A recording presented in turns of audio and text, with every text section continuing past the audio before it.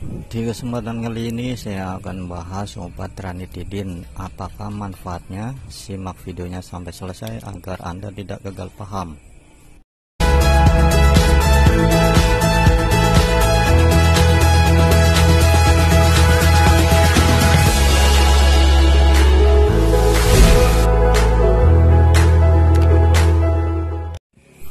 Jadi teman-teman obat ranitidin ini biasanya dijual di apotek-apotek.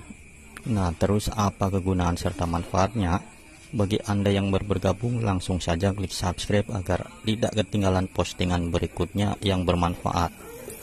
Kali ini saya akan menjelaskan obat ranitidin yang berjenis tablet. Jadi manfaatnya yaitu untuk mengatasi masalah peradangan pada asam lambung yang berlebih.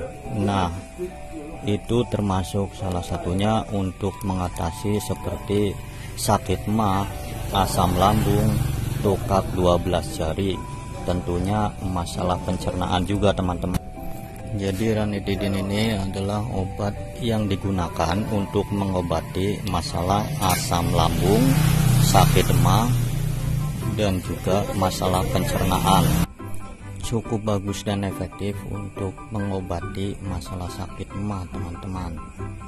Nah untuk pembelian Anda bisa beli di toko apotek terdekat atau di toko obat juga ya.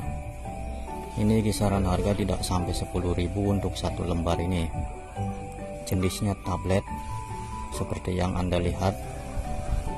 Dan juga untuk cara penggunaan atau pemakaian sehari bisa dua kali saja atau apabila sudah mendingan cukup sehari satu kali saja sesuai dosis dengan ukuran dewasa.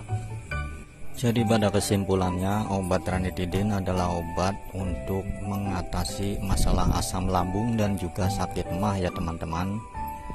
Demikian review kali ini semoga bermanfaat